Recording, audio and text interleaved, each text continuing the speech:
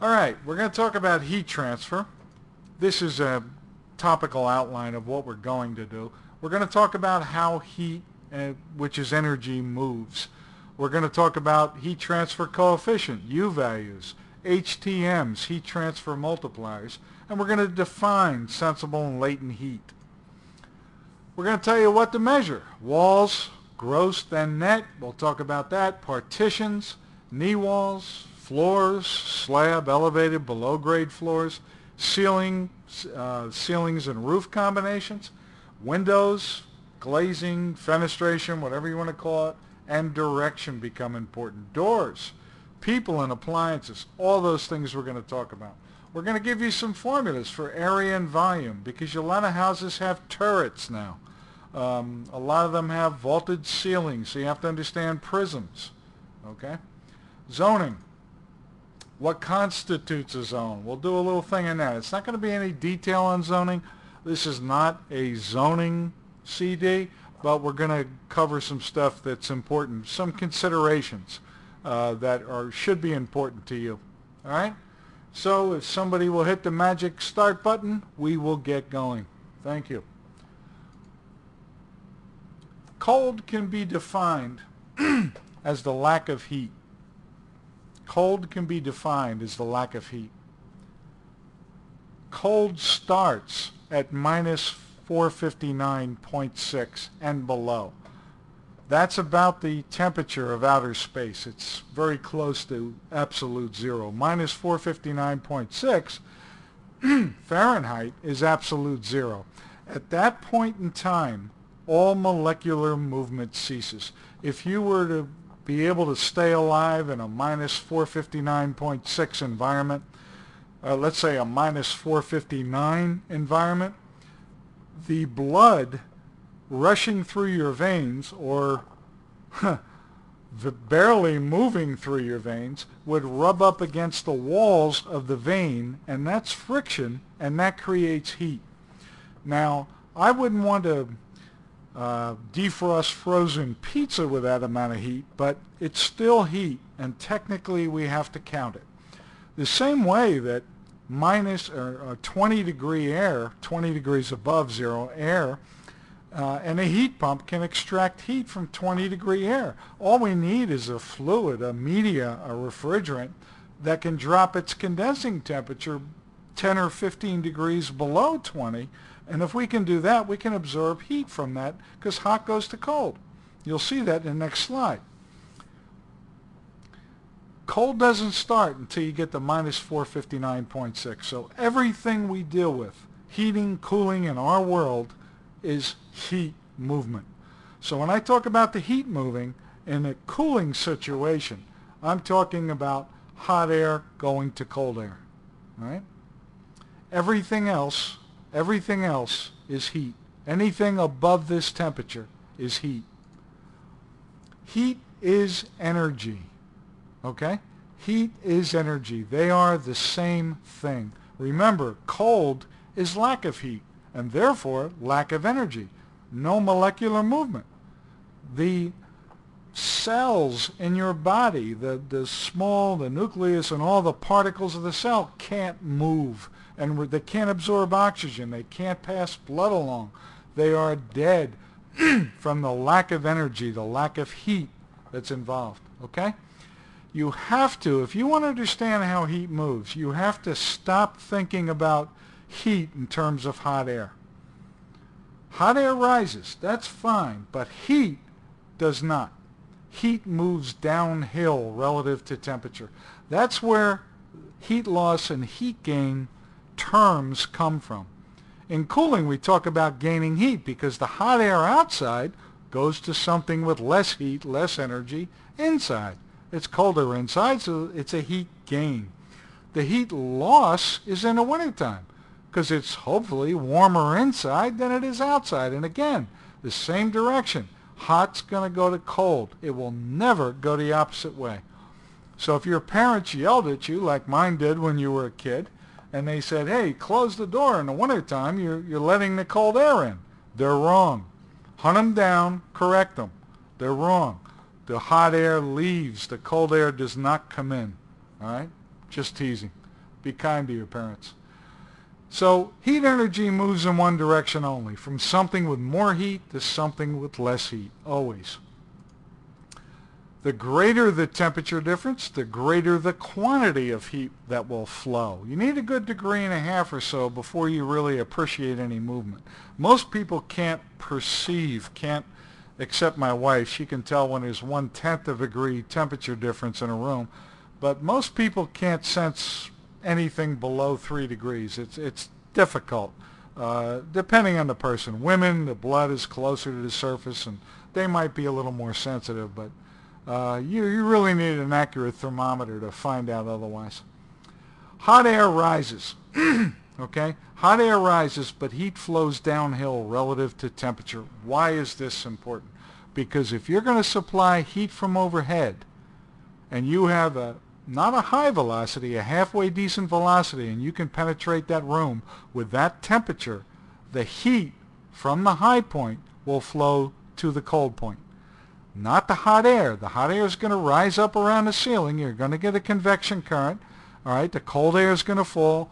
In a, a situation like this in the wintertime, zero degrees, you're going to have probably uh, 62, 63 degree floor all winter long. the temperature of the air coming in from the ceiling could be 100, 110, 120, depending on how old the furnace is. That 100 degrees will go to the 60.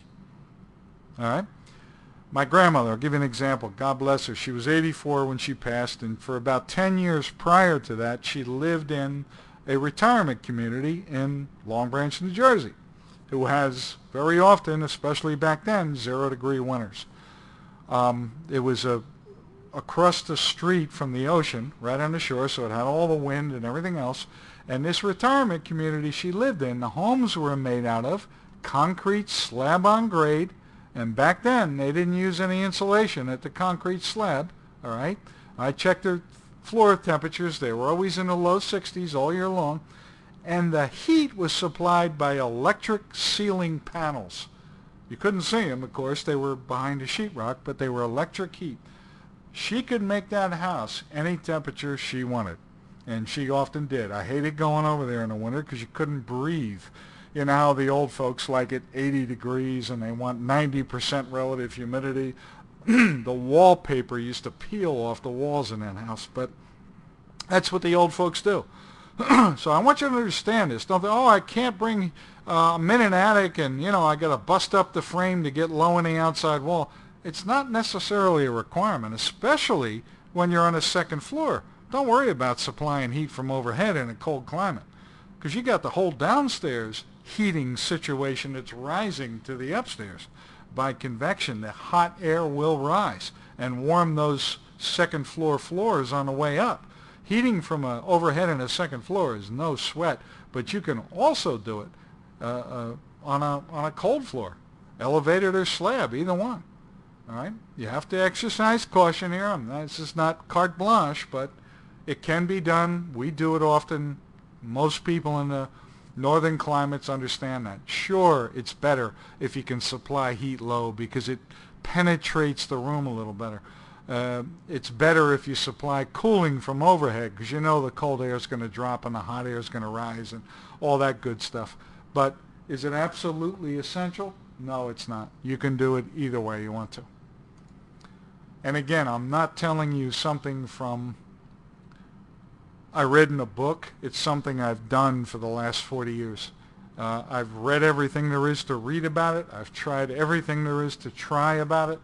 Uh, I've done thousands of houses uh, involved with track work at one time, tens of thousands of houses, and I, I've made enough changes in the design work that we were supplying uh, to be able to see what affects what. So it's been a, it was a very good education for me. Anyway, heat moves in three ways: convection, conduction, radiation.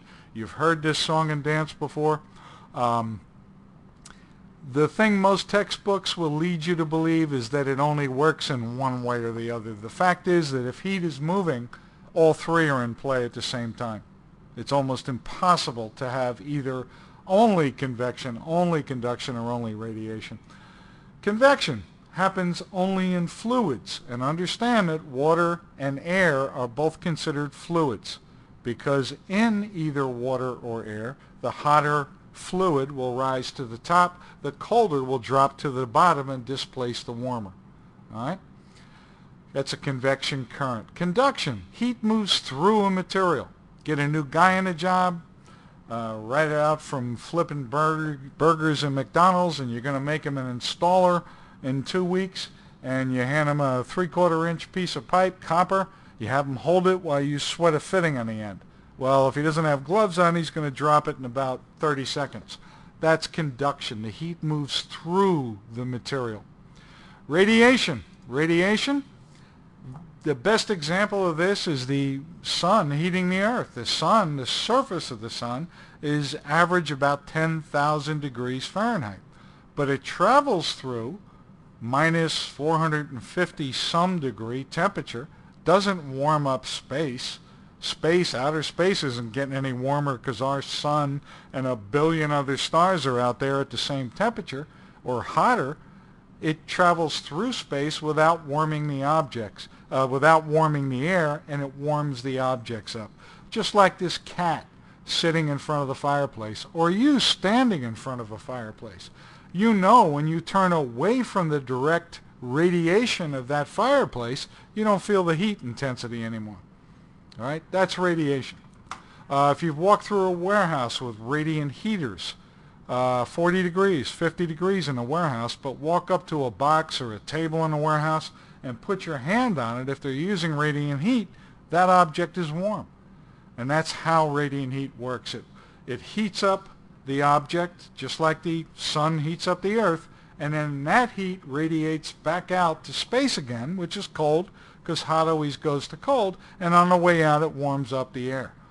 Um, the same with radiant heat in a, in a warehouse. Heat up the objects, they radiate heat to the air and temper the air. All right. Uh, the problem with what we're doing today with refrigerants and other devices, uh, CO2, we're not allowing the heat to get back out again. We're creating global warming. Um, that's a whole other issue.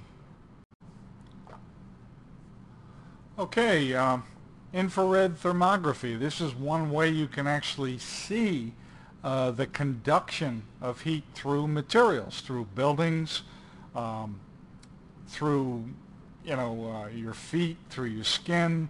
Uh, your core temperature is about 98.6, hopefully, uh, but the surface temperature of your body is about uh, 85, 83, depending um, degrees. So it's considerably different. But you can see the heat emission from that as a result of this thermography.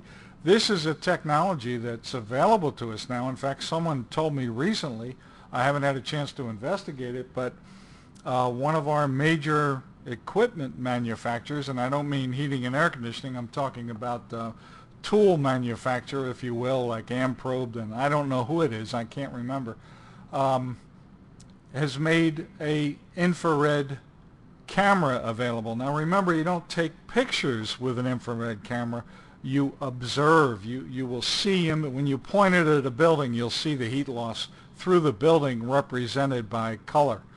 Uh, of course, the red is more intense than the darker colors, that kind of thing. So you can you can use it for a lot of, uh, uh, you know, I, I would love to have one for my own house just so I can see where my heat loss is, is the greatest. Because wherever the heat loss is the greatest, that's where the heat gain is probably going to be the uh, greatest as well. You can see the difference in good window, bad window, just looking at these slides.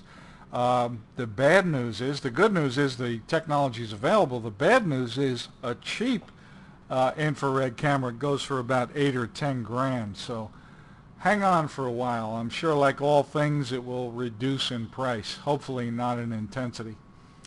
Um, so let's talk about some things here. This gives me an opportunity to talk about density and volume and those kind of things. So what do you think is heavier, a pound of bricks or a pound of cotton? Well, obviously a pound is a pound, but it does give me an opportunity to talk about density. And density is defined as pounds per cubic foot of a material. Take a cubic foot of it, fill that cubic foot with material, and weigh it, okay? If you were to take a cubic foot bucket that's 12 inches by 12 inches by 12 inches. and you put